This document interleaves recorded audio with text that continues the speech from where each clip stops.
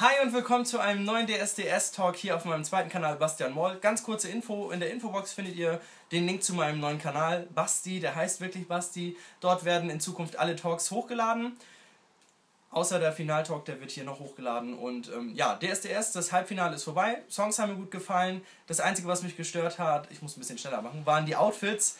Und äh, zwar finde ich das Styling äh, dieses Jahr bei dieser Staffel total schlecht. Äh, ich fand immer, die sahen verkleidet aus und nicht gestylt aus.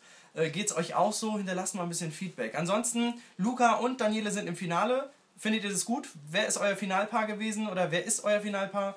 Und ansonsten, ähm, ja, kurz und knapp, iPhone-Video, nicht so viel Speicher. Ich danke euch fürs Einschalten. Wir sehen uns beim nächsten Talk. Euer Basti. Ciao, ciao.